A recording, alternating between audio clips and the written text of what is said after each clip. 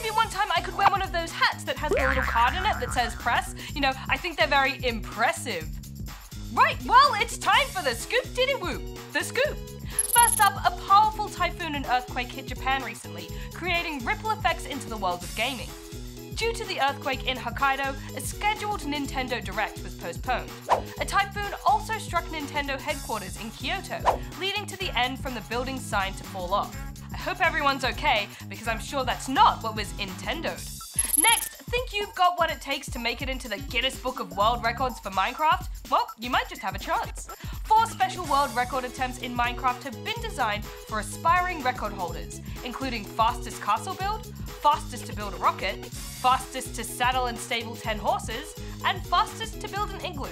You know what they say. Sometimes when it comes to Minecraft, you gotta break ground to break records. What? Well, then start saying it. In other news, a free Kingdom Hearts VR experience has been announced. The short interactive video experience is said to feature elements from a number of Kingdom Hearts games, as well as the music from the series. Another trailer was also revealed for Kingdom Hearts 3, which is set to release next year. Moving on, we dig deep into some more boring news. No, not that kind of boring. I mean news about actual boring, digging.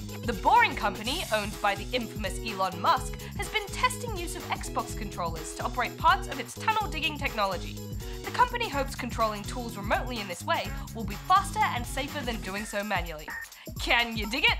And now, the extra scoop. This week, a Luigi's Mansion inspired Labo creation. Entrants in Japan's Labo Creators Contest, Isuki Fujinawa, used the Toy Con garage to create a kind of torch projector hybrid for hunting out boos. Unbelievable! If you've stumbled across something you think is extra scoop worthy, let us know here.